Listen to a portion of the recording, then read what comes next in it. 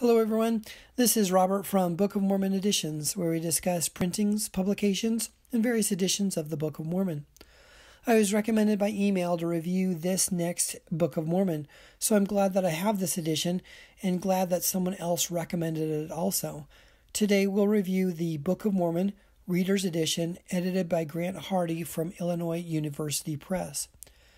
There's not much church history background on this book, so I'll get right into the review as I think it's a pretty awesome third party edition of the Book of Mormon.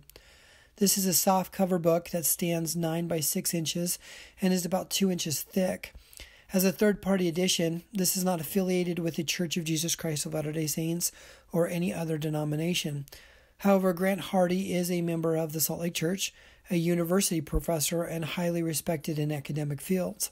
He has written or contributed to a number of publications. He's also wrote the introduction to Royal Skousen's earliest text, Book of Mormon. So in 2003 or thereabouts, Grant Hardy started a project of creating a reader's edition of the Book of Mormon. His introduction in the front of the book is one of the most comprehensive and well rounded introductions I've seen. The 23 page introduction focuses on Book of Mormon history and views both the Salt Lake perspective as and why this is important to a non-member's point of view also.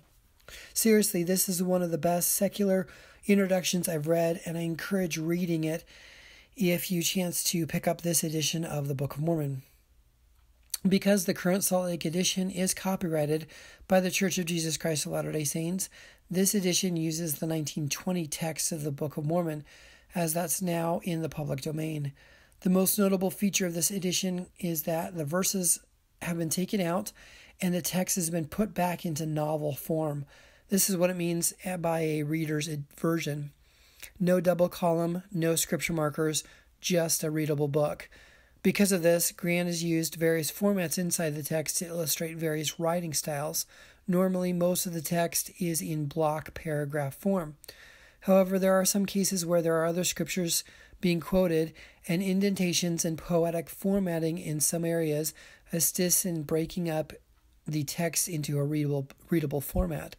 There are also chiasmuses pointed out, and the indentation of lines show various matching lines that illustrate this form of writing also. The only critique I've seen about this comes from Royal Skousen, where he states that a reader's edition has quotation marks included. It can be difficult reading a long quoted sermon or when a quote inside a quote is used. However, if Royal Skousen still recommended Grant Hardy inside Skousen's own work, I think it can manage with this also.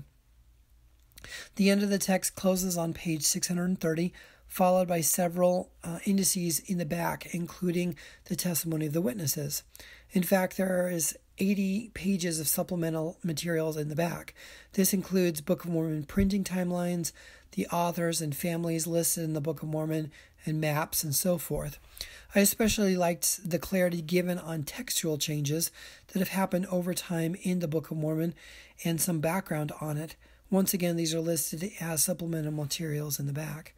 So, overall, you have a reader's edition of the Book of Mormon the text formatted back into a novel reader's version in paragraph form with helpful materials in the introduction and appendices. I'm impressed that someone else sent me a recommendation to review this edition of the Book of Mormon, and I happen to agree with them that this is a pretty interesting, well put together secular edition of the Book of Mormon. Thanks for watching this video.